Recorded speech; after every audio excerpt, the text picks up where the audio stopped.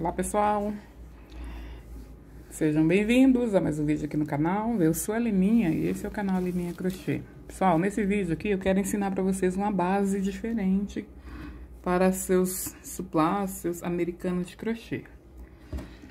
Então eu quero ensinar essa base para você, deixar o vídeo dela aí para quando eu for fazer algum modelo de americano com ela, eu já tenho ela pronta aí para você, tá?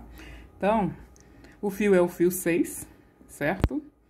Não importa qual fio você vai utilizar para fazer essa base, eu só estou dizendo para você o fio que eu estou utilizando. O fio 6, esse é o barroco, né? 100% algodão. E como ele é um pouquinho mais espesso que o 85%, eu vou utilizar a agulha número 4, tá? Se você for utilizar o, o barbante, né, que é o 85%, você utiliza a agulha número 3,5, certo, pessoal?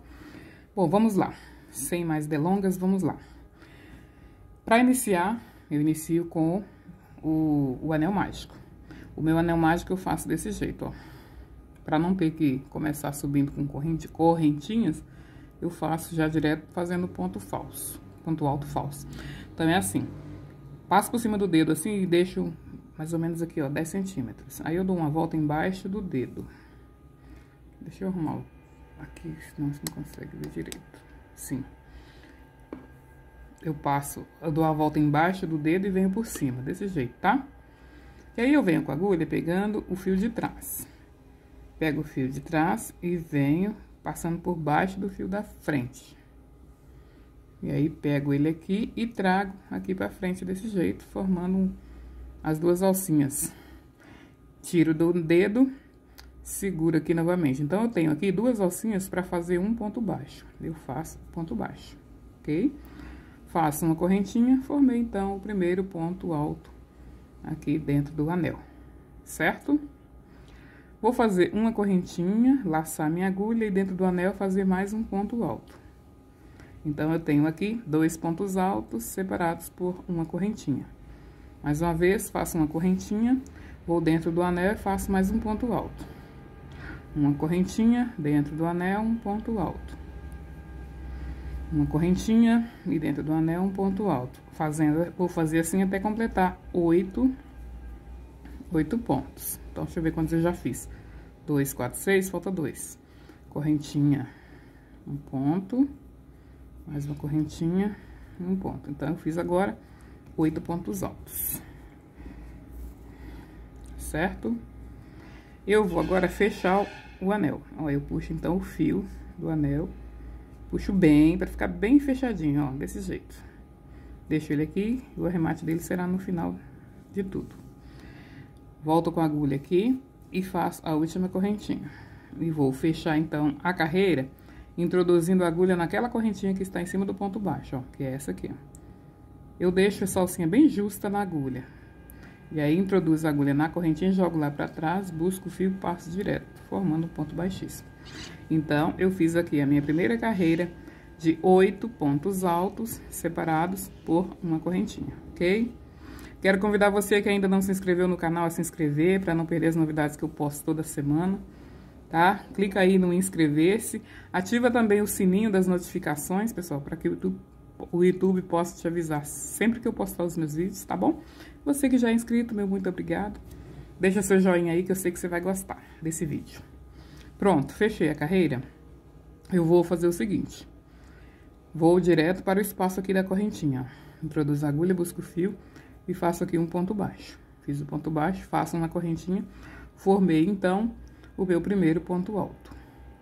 Faço uma correntinha, laço a minha agulha e no mesmo lugar eu faço mais um ponto alto. Então, formei aqui um Vzinho de uma correntinha tá? Vzinho de um ponto alto, uma correntinha, mais um ponto alto no mesmo lugar.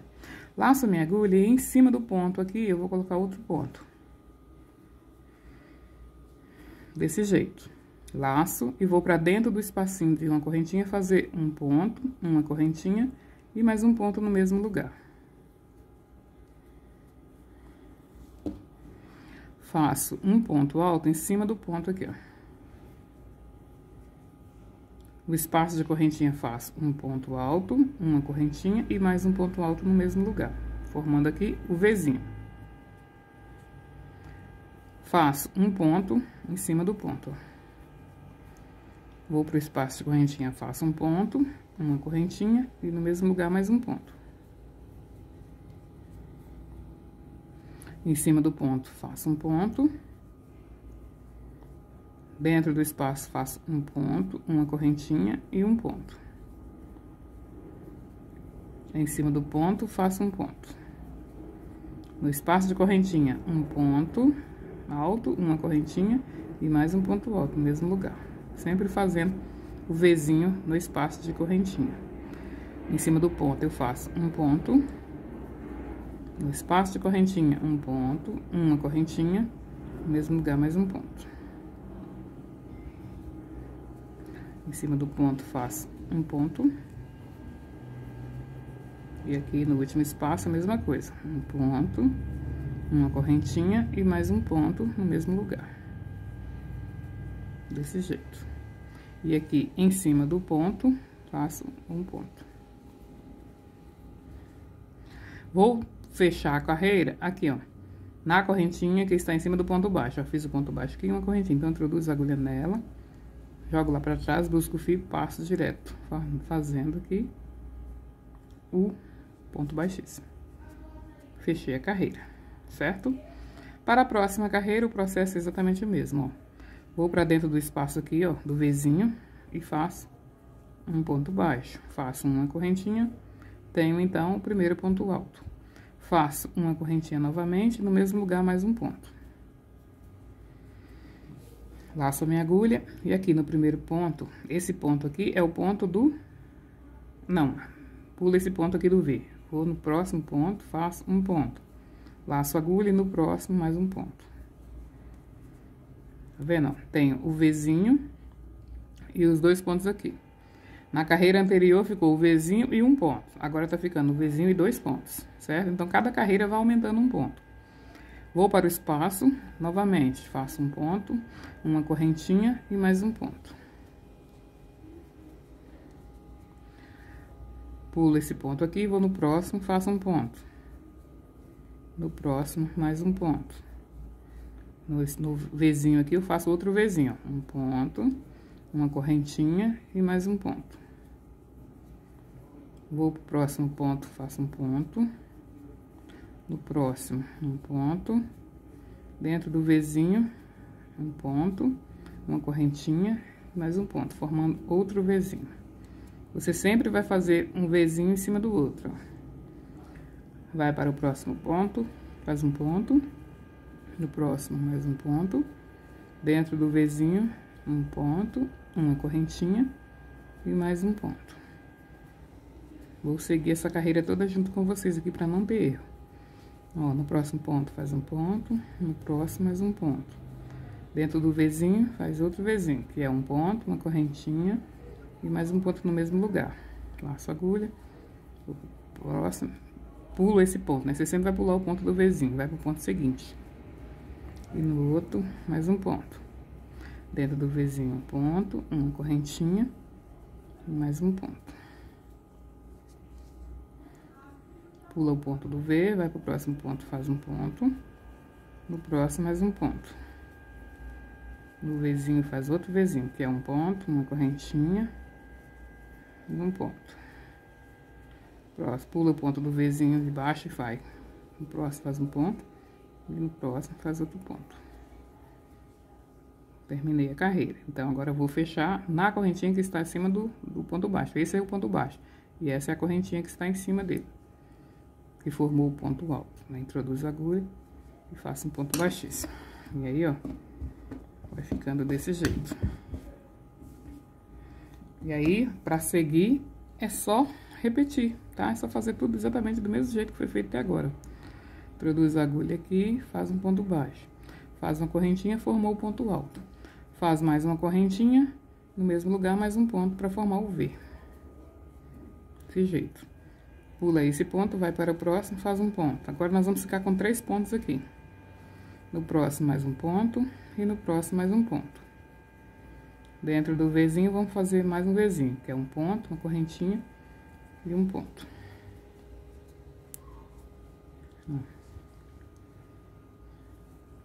O ponto do V, vai para o próximo ponto, faz um ponto.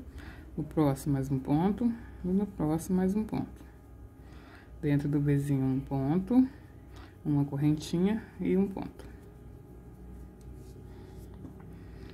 E aí, pessoal, é só seguir fazendo exatamente desse jeito até o tamanho desejado da peça, tá? Para fazer a peça. No caso, se você vai fazer um barrado diferente, você pode seguir fazer a peça inteira desse jeito e fazer só um biquinho pequenininho, ou você pode seguir fazendo a base de nove carreiras ou de oito, fazer um barrado diferente, tá? Vai ficar lindo do mesmo jeito. Qualquer jeito que você fizer aí, vai ficar lindo. E aí é só seguir esse padrão, tá?